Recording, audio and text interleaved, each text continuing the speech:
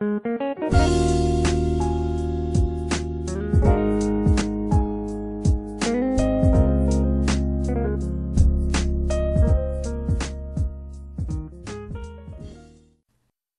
ಪ್ರಿಯ ವಿದ್ಯಾರ್ಥಿಗಳೆಲ್ಲರಿಗೂ ನಮಸ್ಕಾರ. Okay last ಕ್ಲಾಸ್ನೊಳಗ ಅನುರಾಗೋದಯ ನಾವು study ಮಾಡಕ್ ಕುಂತಿದ್ವಿ.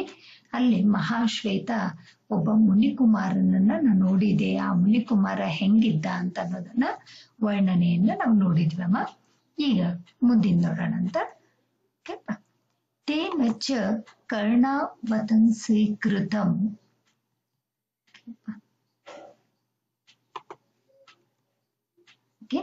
तेन च कर्णावतंसि कृताम्। अमृतबिन्दुनिस्सन्दिनीम् अदृष्टपूर्वाम्। कुसुममञ्जरीमद्राक्षम्। तं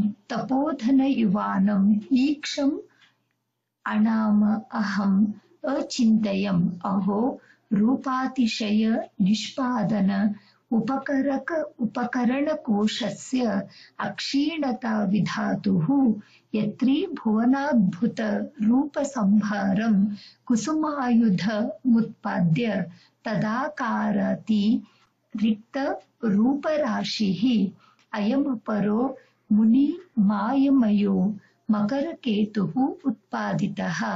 मे चकल जगत नयनानंदकर शशिबिंब विरचयता लक्ष्मीवास भवना कमला सृजता प्रजापतिनातदान आकार करण कौशलाभ्यास कृतः, अन्यथा किमी वही सदृश वस्तु विचर विरचनायाः कारणं तद्रूपातिशयं द्रष्टुमिव कुतूहलाद लिंगन लालसेभ्यो अंगेभ्यो निरगात रोमांचल जालकम अशेषतः स्वेदाम्भसा द्यौतश्चरणयुगलादीव हृदयमाविघ्न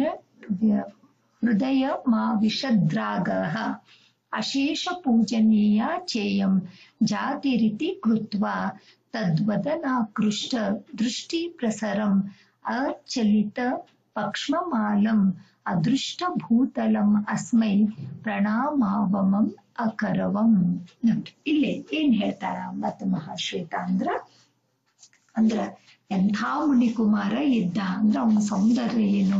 ಯಾವ ರೀತಿಯಾಗಿ ಅವ ಇದ್ದ?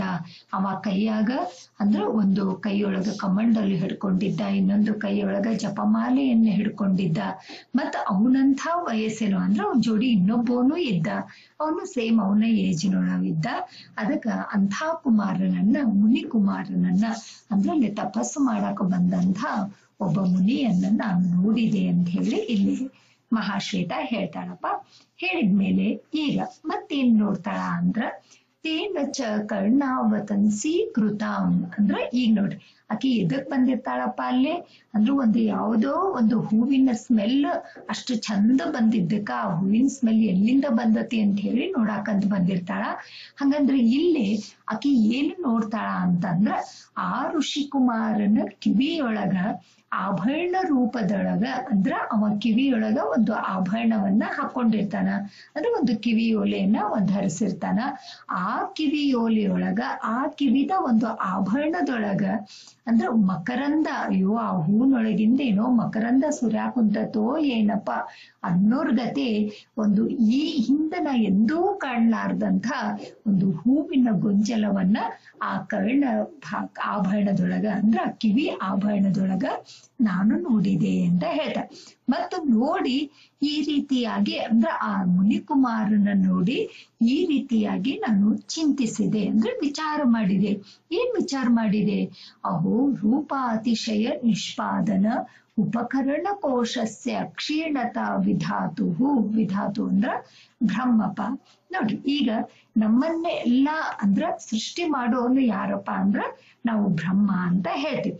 ಅಂದ್ರ ಈಗ ಏನಕ್ಕೆ ಹೇಳಾಕುಂತಾಳು ವಾಯು ಎಷ್ಟು ಚಂದ ಅದಾನಲ್ಲ ಇವನ ಬ್ರಹ್ಮ ಹೆಂಗ ಸೃಷ್ಟಿ ಮಾಡಿರ್ಬೇಕು? ಹಂಗಂದ್ರ ಆ ಸೃಷ್ಟಿ ಮಾಡ್ಬೇಕಾದ್ರ ಅಂದ್ರ ಅವನು ಉಪಯೋಗ ಮಾಡುವಂತ ಒಂದು ಉಪಕರಣಗಳು ಅಂದ್ರೆ ಒಂದು ಮಟೀರಿಯಲ್ ಎಕ್ವಿಪ್ಮೆಂಟ್ಸ್ ಅಂತ ನಾವೇನ್ ಹೇಳ್ತೀವಲ್ಲ ಅಂದ್ರ ಆ ಬ್ರಹ್ಮನ ಕಡೆಗೆ ಇರುವಂತ ಸೃಷ್ಟಿ ಮಾಡುವಂತ ಉಪಕರಣಗಳು ಖಾಲಿ ಆಗ್ಯವೋ ಏನೋ? ಅಂದ್ರೆ ಇಂಥ ಸಾಮಾನ ಅಂದ್ರೆ ಸೃಷ್ಟಿ ಮಾಡಾಕ ಉಪಕರಣನೂ ಇಲ್ಲ ನಾವು ಬ್ರಹ್ಮನ್ ಕಡೆಗೆ. ಅಂದ್ರೆ ಮತ್ತೇನಂತ ಹೇಳ್ತಾನ ಅಂದ್ರ ಮತ್ತೇನಕ್ಕೆ ವಿಚಾರ ಮಾಡ್ತಾಳ ಅಂದ್ರೆ, ಯಾಕಂದ್ರ ಈ ಭೂಮಿ ಮೇಲೆ ಆ ಸೃಷ್ಟಿಕರ್ತ ಅಂದ್ರ, ಆ ಬ್ರಹ್ಮ ಏನ್ ಸೃಷ್ಟಿ ಮಾಡ್ಯಾನ ಅಂದ್ರ, ಮೂರೂ ಲೋಕದೊಳಗ ಅತ್ಯಂತ ಸೌಂದರ್ಯ ಆದಂತಹ ಒಬ್ಬ ಮನ್ಮಥನನ್ನ ಸೃಷ್ಟಿ ಮಾಡಿದ. ಅಂದ್ರ ಕಾಮ, ಮನ್ಮಥ ಅಂತ ಹೇಳ್ತೀವಲ್ಲ ಫಸ್ಟ್ ಆ ಮನ್ಮಥನನ್ನ ಸೃಷ್ಟಿ ಮಾಡಿದ ಬ್ರಹ್ಮ. ಮತ್ತ ಅದಾದ ಮೇಲೆ ಅದಕ್ಕಿಂತಲೂ ಮತ್ತೆ ಇನ್ನೂ ಸೌಂದರ್ಯ ಇದಾದಂತ ಒಂದು ಲಕ್ಷ್ಮಿಯ ಒಂದು ಕಮಲಗ್ರ ಲೀಲಾಗ್ರಹ ಅಂದ್ರೆ ಒಂದು ಕ, ಲಕ್ಷ್ಮಿಯ ಒಂದು ಭವನವನ್ನ ಸೃಷ್ಟಿ ಮಾಡ್ತಾನಪ್ಪ. ಅದನ್ನು ಆದ್ಮೇಲೆ ಮತ್ತೆ ಇನ್ನೂ ಅಂದ್ರ ಅದಕ್ಕಿಂತ ಹೆಚ್ಚಿಂದಾಗಿ ಲಾಸ್ಟ್ಗೆ ಏನ್ ಸೃಷ್ಟಿ ಮಾಡ್ತಾನ ಅಂತಂದ್ರ, ಇಲ್ಲಿ ಯಾರು ಅಂತಂದ್ರ ಮುನಿಕುಮಾರನನ್ನ ಇಲ್ಲಿ ಬ್ರಹ್ಮ ಸೃಷ್ಟಿ ಮಾಡ್ಯಾನ ಅಂತ ಹೇಳ್ತಾರ. ಅದಕ್ಕೆ ಇಲ್ಲಿ ಏನ್ ಹೇಳಾಕುಂತಾರ ಅಂತಂದ್ರಮ್ಮ ಫಸ್ಟ್ ಅತೀ ಸೌಂದರ್ಯನಾದಂಥ ಮನ್ಮಥನನ್ನ ಸೃಷ್ಟಿ ಮಾಡಿದ. ಆ ಮನ್ಮಥನನ್ನ ಅಂದ್ರ ಸೃಷ್ಟಿ ಆದ್ಮೇಲೆ ಇಡೀ ಜಗತ್ತಿಗೆನ ನಮ್ಮ ಕಣ್ಣಿಗೆ ಒಂದು ಸ್ತಂಪಾದ ಕೊಡುವಂತ ಒಬ್ಬ ಚಂದ್ರನನ್ನ ಸೃಷ್ಟಿ ಮಾಡಿದ. ಆ ಚಂದ್ರ ಆದ ಮೇಲೆ ಲಕ್ಷ್ಮೀ ವಾಸ ಲಕ್ಷ್ಮಿ ಇರುವಂತ ಒಂದು ಸ್ಥಾನವಾದಂತ ಒಂದು ಕಮಲದ ಒಂದು ಭವನವನ್ನ ಸೃಷ್ಟಿ ಮಾಡಿದ. ಹಂಗನ್ ಯಾಕ ಸೇಮ್ ವಸ್ತುನ ಅಂದ್ರ ಒಂದಕ್ಕಿಂತ ಒಂದು ಚಲೋ ಇರೋ ವಸ್ತುವನ್ನ ಬ್ರಹ್ಮ ಯಾಕ ಸೃಷ್ಟಿ ಮಾಡ್ತಾನ ಹಗ್ಲಲ್ಲ ಅಂತಂದ್ರ ಅಂದ್ರ ಯಾಕಂದ್ರ ಅವ ಪ್ರಾಕ್ಟೀಸ್ ಮಾಡಾಕ್ ಬ್ರಹ್ಮ.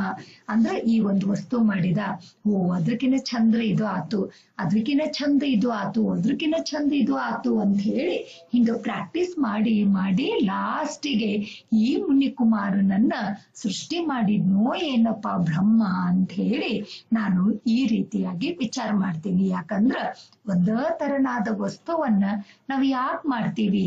ಅಂದ್ರೆ ಅದು ಪ್ರಾಕ್ಟೀಸ್ ಆಗಿ ನಾವು ಪರ್ಫೆಕ್ಟ್ ಆಗೋ ಮಟ್ಟ ನಾವು ಆ ಕೆಲಸವನ್ನ ಮಾಡ್ತೀವಿ ಅಂತ ಅನ್ನೋದನ್ನ ಇಲ್ಲಿ ಮಹಾಶ್ವೇತ ಆ ಮುನಿಕುಮಾರನಿಂದ ಸೌಂದರ್ಯ ಹೆಂಗಿತ್ತು?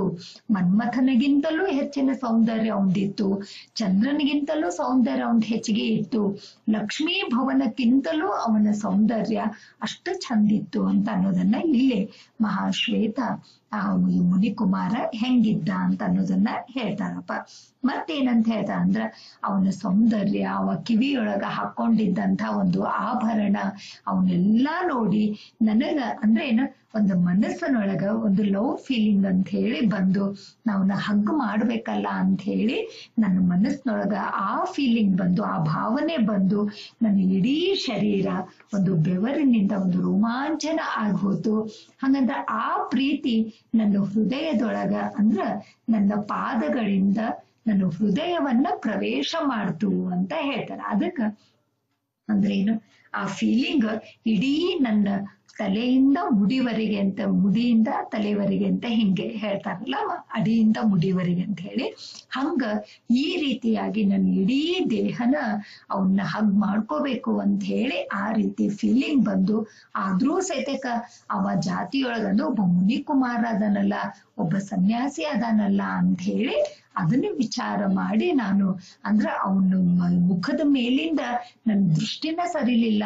ಆದ್ರೂ ಪ್ರಯತ್ನ ಪೂರ್ವಕವಾಗಿ ಅವನ ಮುಖದ ಮೇಲಿದ್ದಂಥ ನನ್ನ ದೃಷ್ಟಿಯನ್ನ ಸರಿಸಿ ಅಂದ್ರೆ ನನ್ನ ಕಣ್ಣನ್ನ ಹಿಂಗೆ ಕೆಳಗ ಮಾಡ್ಕೊಂಡು ಕಣ್ಣು ರೊಪ್ಪೆಯನ್ನ ಮುಚ್ಚಿ ಅಂದ್ರೆ ಭೂಮಿ ಕಡೆನೂ ನಾನು ನೋಡ್ಲಾರ್ದನ ಅವನ ಪಾದಕ್ಕ ನಾನು ನಮಸ್ಕಾರ ಮಾಡಿದೆ. ಯಾಕಂದ್ರೆ ಅವ ಮುನಿಕುಮಾರ ಅದಾನ ಅಂತ ಹೇಳಿ ನಾನು ಅವನ ಪಾದಕ್ಕ ನಮಸ್ಕಾರ ಮಾಡಿದೆ ಅಂತ ಹೇಳಿ ಇಲ್ಲಿ ಮಹಾಶ್ವೇತ ಹೇಳ್ತಾಳಪ್ಪ.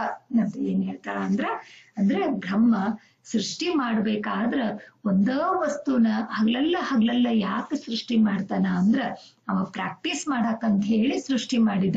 ಅದಕ್ ಫಸ್ಟ್ ಮನ್ಮಥನ ಮಾಡಿದ, ಆಮೇಲೆ ಚಂದ್ರನನ್ನ ಮಾಡಿದ, ಆಮೇಲೆ ಲಕ್ಷ್ಮೀ ವಾಸವನ್ನ ಮಾಡಿದ.